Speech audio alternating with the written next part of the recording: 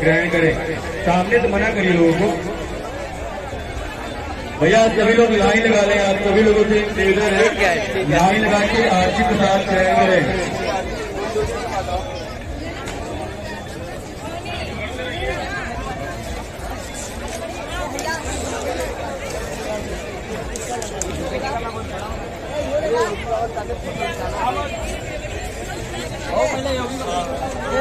这个